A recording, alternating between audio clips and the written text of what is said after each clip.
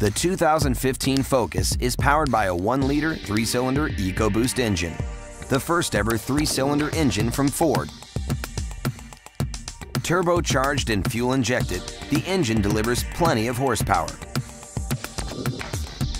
And because the three cylinders generate reduced friction, the engine operates with amazing efficiency.